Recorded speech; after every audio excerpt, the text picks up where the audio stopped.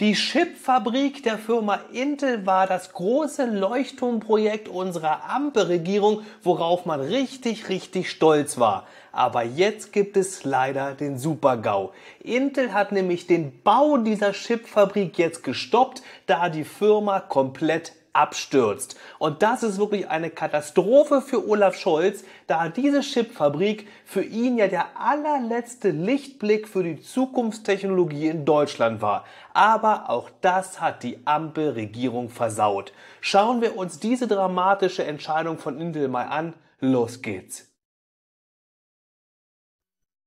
Gestern Abend gab es eine katastrophale Meldung aus der Intel-Zentrale in Amerika. Dem Unternehmen geht es offenbar so grottenschlecht, dass jetzt ein massives Sparprogramm aufgelegt wurde. Tausende von Mitarbeitern werden entlassen und reihenweise Großprojekte werden gestoppt. So auch die Mega-Chip-Fabrik in Magdeburg. Die Bild-Zeitung schrieb heute Nacht, nächster Rückschlag für Standort Deutschland. Intel stoppt Bau von Mega-Chip-Fabrik.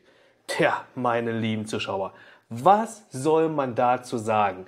Dieser Baustopp der Chipfabrik ist nicht nur ein Rückschlag für den Standort Deutschland, sondern es steht sinnbildlich für die katastrophale Arbeit der Ampelregierung weil die Ampel hat es geschafft, unsere ganze Wirtschaft komplett gegen die Wand zu fahren und eine Branche nach der nächsten zu zerstören. Hauptsächlich durch die selbstverschuldete Energiekrise und auch durch das Verbot von gerade jenen Technologien, die Deutschland so unglaublich erfolgreich gemacht haben. Stichwort das Verbrennerverbot.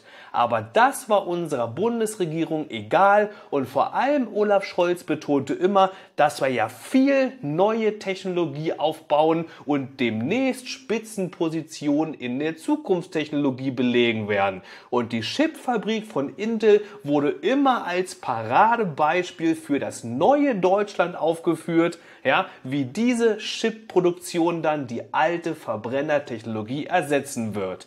Die Bild-Zeitung schrieb weiter, der Konzern hatte in Magdeburg den Bau von zunächst zwei Chipfabriken angekündigt. Dabei sollten rund 3000 Arbeitsplätze entstehen, die Investition etwa 30 Milliarden Euro kosten. Der Produktionsbeginn für die kleinsten Chips der Welt war für 2027 erwartet worden. Vor einigen Wochen wurde bereits die erste Baugenehmigung erteilt. Sie war ein Vorzeigeprojekt und sollte die Wirtschaftsregion beleben. Jetzt hat der Chipriese Intel aber in Sachsen-Anhalt das geplante Megafabrik gestoppt. Tja, aus die Maus und nix mit 3000 neuen Arbeitsplätzen.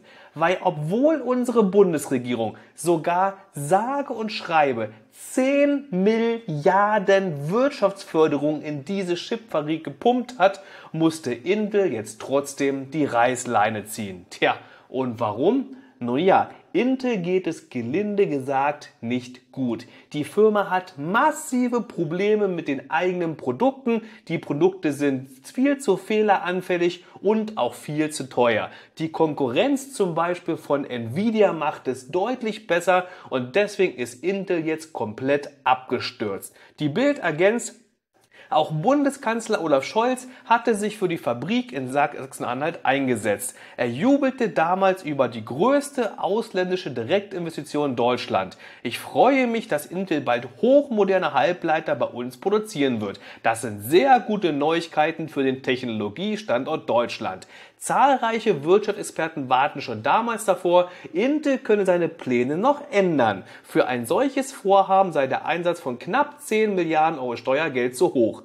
Grund für den Baustopp sind die deftigen Verluste, die Intel zuletzt schlucken musste. Als Reaktion darauf legte der Konzern ein Sparprogramm auf, rund jeder sechste Mitarbeiter muss gehen. Analysten rechnen damit, dass der Konzern auch weiterhin rote Zahlen schreiben wird. Innerhalb eines Jahres halbierte sich Intels Aktienkurs zuletzt. Und hier siehst du zum Beispiel mal den Absturz der Intel-Aktie. Anfang des Jahres stand Intel noch bei 47,80 Dollar und jetzt nur noch bei 20,91 Dollar. Das ist ein Absturz von 57 Prozent in weniger als einem Jahr. Das ist mehr als die Hälfte. Und weil es Intel eben so dreckig geht, haben sie dieses massive Sparprogramm aufgelegt und der R&D hatte bereits Anfang August davon berichtet. Massiver Stellenabbau. Intel will fast 20.000 Arbeitsplätze streichen. Intel plant mehr als 15% seiner Arbeitskräfte zu entlassen, nachdem der Chiphersteller im vergangenen Quartal einen Verlust in Milliardenhöhe verbuchen musste und sich die Lage nach wie vor nicht verbesserte. Und wisst ihr, was richtig krass an der Tatsache ist? Trotz dieser miesen Zahlen und trotz der hohen Verluste bei Intel hat man trotzdem felsenfest versprochen, dass man an dem Bau der Chipfabrik in Deutschland festhalten würde. Nur einen Tag später, am 2.8. hatte der MDR nämlich Folgendes geschrieben.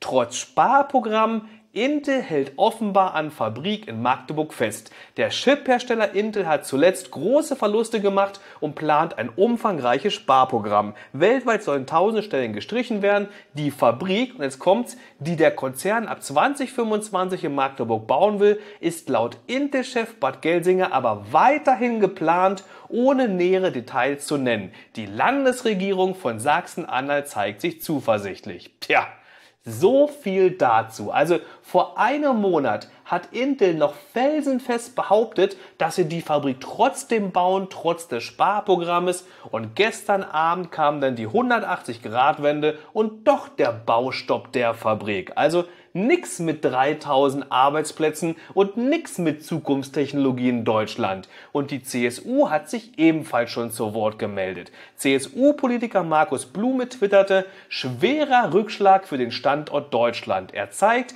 selbst mit Milliardensubventionen kann die Ampel nicht so viel Industrie aufbauen, wie sie anderswo durch verfehlte Wirtschaftspolitik zunichte macht. Und genau so sieht's aus. Die Ampel steht komplett blank da. Nur einer freut sich über dieses Aus. Und das ist Finanzminister Lindner, weil der kann jetzt nämlich die gesparten 10 Milliarden Subventionen in andere ähm, Steuerlöcher stopfen.